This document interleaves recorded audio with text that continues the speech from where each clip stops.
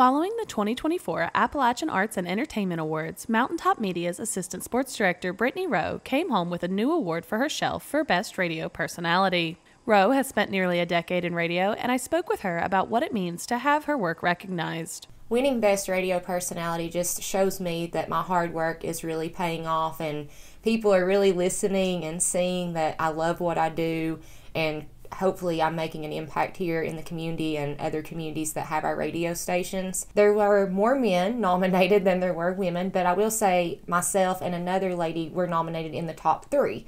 So that was pretty impressive to me to see that women are impacting this industry and also impacting the sports industry and showing the little girls out there, hey, you can be in this industry too. Just because it's male dominated doesn't mean that you can't do what you want to do as well. At Audiology Associates of Prestonsburg, you can live your life the way you want and find the freedom of better hearing. With 40 years of being in the hearing care industry, you'll experience patient care that is specific to you with exceptional follow up care that ensures your hearing and balance needs are being met. Audiology Associates at 1428 North Lake Drive in Prestonsburg.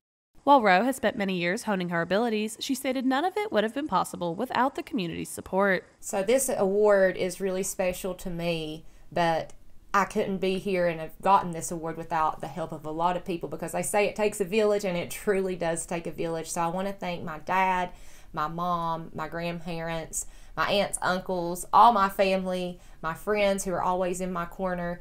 Cindy for giving me a chance. And honestly, she took a chance on somebody that she didn't really know a lot about, and she has trusted me with a lot and just helped me grow and let me keep growing our sports department and doing what I love. And, you know, big this also goes to Teddy P.